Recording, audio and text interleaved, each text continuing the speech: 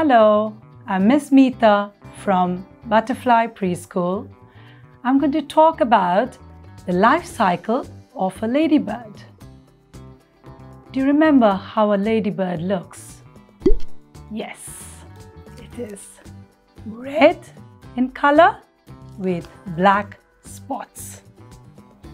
So a ladybird, uh, an adult ladybird or a mummy ladybird lays eggs. Yes. What color are the eggs? The eggs are yellow in color.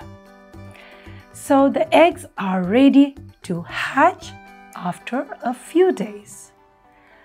When the eggs are hatched, the larvae start coming out of the eggs and it starts eating a lot of food, leaves mainly.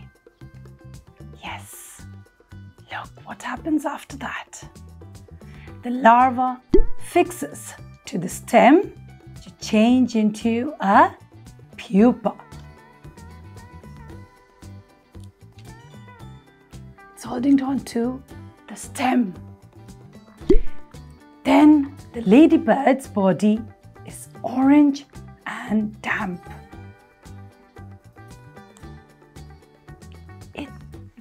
Come out of the ladybird and it dries itself.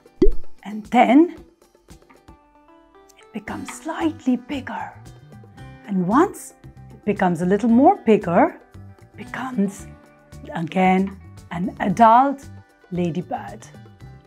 Again, the mummy ladybird lays eggs, the legs hatch into larva, larva becomes pupa, the pupa comes out as an orange ladybird, it's damp, and then the wings come out, they dry up, and then it becomes again an adult ladybird.